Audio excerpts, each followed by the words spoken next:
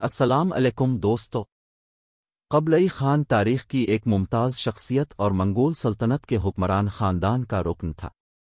वो मंगोल सल्तनत का पांचवां खागन, अजीम खान, था और उसके दौर हुकूमत ने चीन और आसपास के इलाकों की तारीख पर नुमायां असर डाला। कबलई खान की तारीख का एक जायज़ा ये है। इब्तदाई ज़िंदगी और इकतदार में इजाफा। कबलई खान 1215 में मंगोलिया में पैदा हुआ मशहूर मंगोल फाते चंगेज खान का पोता और चंगेज खान के बेटों में से एक तोलुई का बेटा था। एक नौजवान के तौर पर, उसने अच्छी तालीम हासिल की और चीनी समेत मुतद ज़बानें सीखीं। कबलई जंगी और फौजी हिकमत अमली में माहिर था और अपने दादा और वालिद के दौर हुकूमत में मुख्तलिफ़ फौजी मुहिमों में बढ़ चढ़कर हिस्सा लिया। एक हज़ार दो सौ साठ में, अपने बड़े भाई मंके खान की मौत के बाद, तख्त की जानशीनी के लिए मंगोल ख़ानदान की मुख्तलिफ़ शाखों के दरमियान इकतदार की कश्मकश शुरू हो गई। कबलई खान फाते के तौर पर उभरा और मंगोल सल्तनत का अजीम खान बन गया। उसने एक हज़ार दो सौ छठ में खानबलीक जदीद दौर के बीजिंग में अपना दारुल हुकूमत कायम किया। कबलई खान की क़ियादत में मंगोलों ने अपनी सल्तनत को चीन, कोरिया और मशरकी एशिया के दीगर हिस्सों में मजीद वसत दी। उसने कई चीनी इंतज़ामी और सियासी तरीकों को अपनाकर अपनी हुक्मरानी को मज़बूत और मुस्तहकम करने की कोशिश की।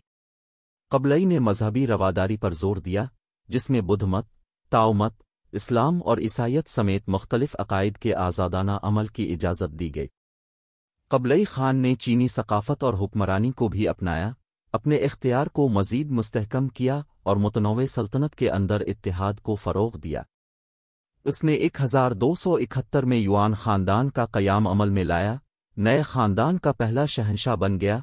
उसने एक वसी इलाके पर हुक्मरानी की जिसमें जदीद दौर के चीन, मंगोलिया, कोरिया और जनूब मशरकी एशिया के कुछ हिस्से शामिल थे। कबलई खान अपने असर और रसूख को चीन से आगे बढ़ाने के लिए बेचीन था और उसने जापान और वियतनाम को फतह करने की कोशिश की, लेकिन ये मुहिमात नाकाम रहीं। मंगोलों ने भी जनूबी चीन में सोंग खानदान के खिलाफ हमलों का एक सिलसिला शुरू किया, जो बिलाखिर एक हज़ार दो सौ उनासी में सोंग खानदान के जवाल का बाइस बना। कबलई खान के दौर हुकूमत ने चीन में सकाफती तबादले और इकतसादी तरक्की के एक अहम दौर की निशानदेही की।